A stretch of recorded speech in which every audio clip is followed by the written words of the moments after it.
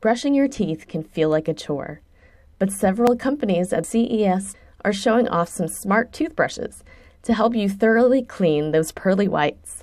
The ONVI Prophix toothbrush is equipped with a camera on the brush's handle. When you open wide, you can see real time video to make sure that you cover all those nooks and crannies while brushing.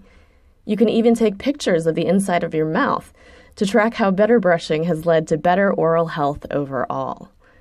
Currently available for pre order, the Prophix costs $299 and it's expected to ship in the fall. If video captured by the Prophix is too real life for some consumers, viewing your teeth with a Grush smart toothbrush may be a little easier to look at. In its companion app, the areas where you've brushed well appear on your screen in green. The areas brushed not so well show as yellow, and the areas where you haven't brushed at all show up in red.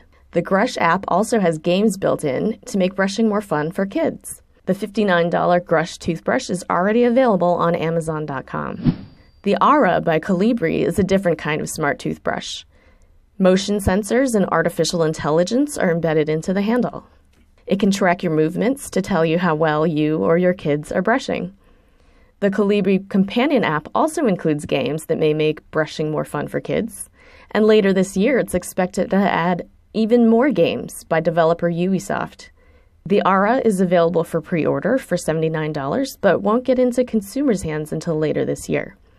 For Tom's Guide, I'm Althea Chang. To see more of our CES 2017 coverage, visit tomsguide.com.